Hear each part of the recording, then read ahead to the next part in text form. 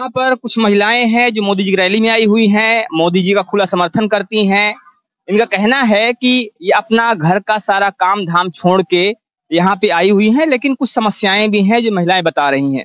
अब महिलाओं को क्या समस्याएँ हैं? आइए बात करते हैं इनसे। क्या प्रॉब्लम है आपकी? समस्या है, अगर लड़कियाँ बच्चे हैं, पढ़ाई लिखाई के लिए पैसा भी नहीं हो सकता, उतना खेती बाड़ी नहीं है तो अनपढ़ी महिला के, कि काम कोई नहीं मिलता।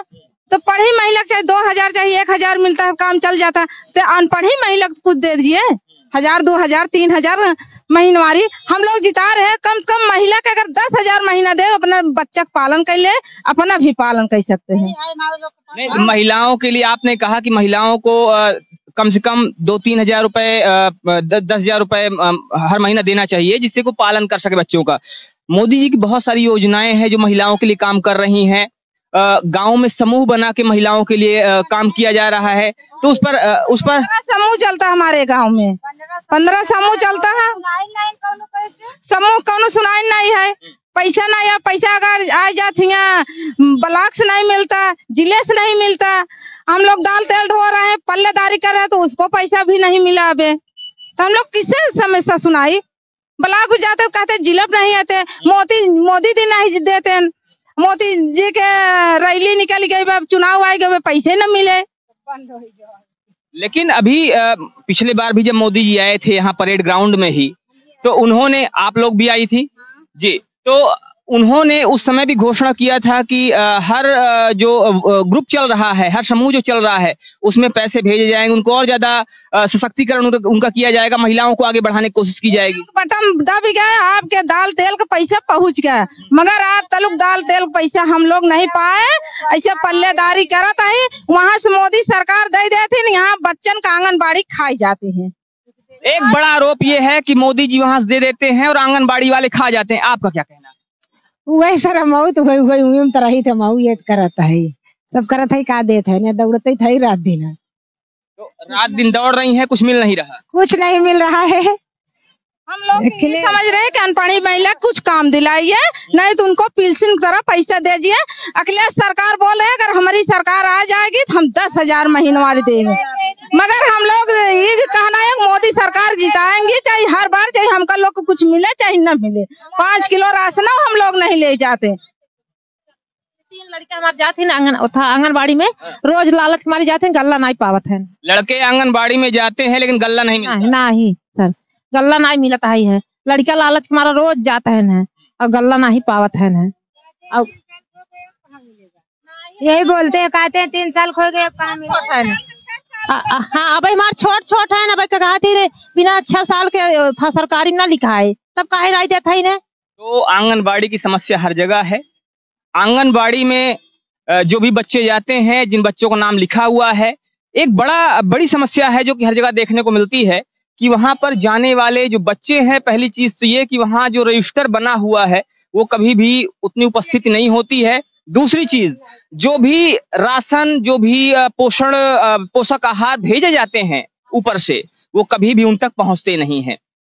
वो कभी लाभार्थियों को मिलते नहीं है। एक बड़ी समस्या है और इस पर सरकार को ध्यान देने की ज़रूरत है। सरकार कहीं ना कहीं अपनी पीठ थपथपा रही है।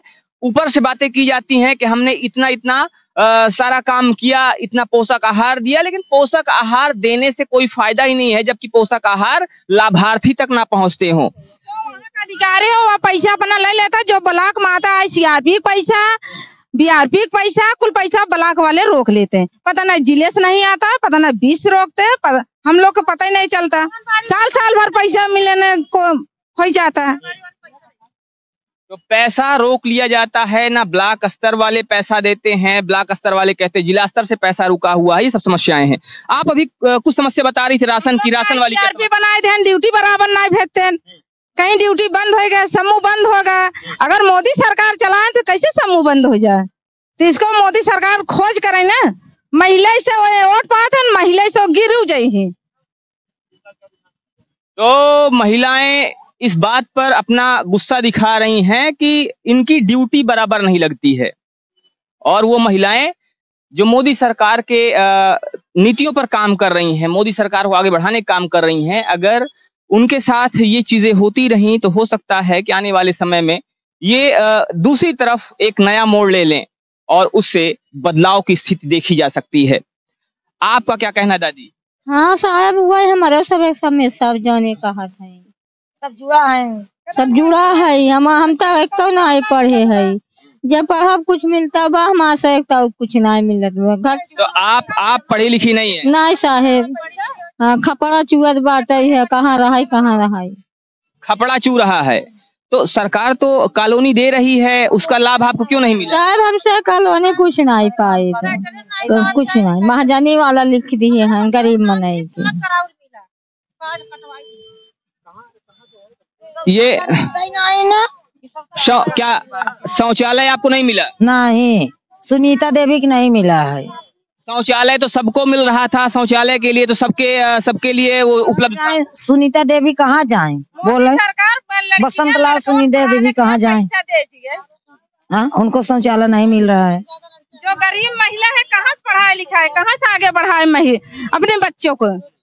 जब लड़की हो गई उसको पढ़ाई लिखाई करें। शादी ब्याह में पैंतीस हज़ार मोदी सरकार पैसा देथिन दस हज़ार सामान देथिन उतने कितना शादी कैले? तो इनका कहना है कि मोदी सरकार महिलाओं को, लड़कियों को पढ़ाने, लिखाने की पढ़ाने, लिखाने के लिए पैसा दे, खर्च दे, जिससे कि वो बराबर पढ़ सकें, अच्छे ढंग से पढ़ सकें और आगे बढ़ सके, क्योंकि जो पैंतीस हज़ार रुपए दिए जाते विवाह के लिए, वो पैंतीस हज़ार पर्याप्त नहीं है, ऐसा आपका कहना है? हाँ उसके कोई नहीं है। और पैसा बढ़ाइए कन्यादान में। कन्यादान में पैसा बढ़ाया जाना चाहिए। अभी आप एक बिया के शादी हो गई कह रहे हैं फार्म भरा जाए सर में कार्ड पर पैसा बंद हो गया। हर एक कार्ड पैसा लगवा लगा बनवाए लेन मोदी सरकार पैसा उसे नहीं दे। श्रम कार्ड पे पैसा नहीं आ रहा। नहीं एक बार आए जब अगले बार मोदी सरकार के फिर चुनाव आए तब आए अब एक बार कोई पैसा नहीं आए। तो यहाँ से महिलाओं गुस्साते हैं कि नहीं गुस्साते हैं? तो यहाँ पर महिलाओं का तरह तरह का आरोप है। इस पर कहीं ना कहीं ध्यान देने की ज़रूरत है। और इन महिलाओं की समस्या पर ध्यान देते हुए इनको कहीं ना कहीं ठीक करने की ज़रूरत है, जिससे कि आने वाले समय में भी ये महिलाएँ आगे इसी तरह से काम करती रहें। और इसी तरह से, बिल्कुल दादी, बिल्कुल हम पूरी कोशिश करेंगे दादी।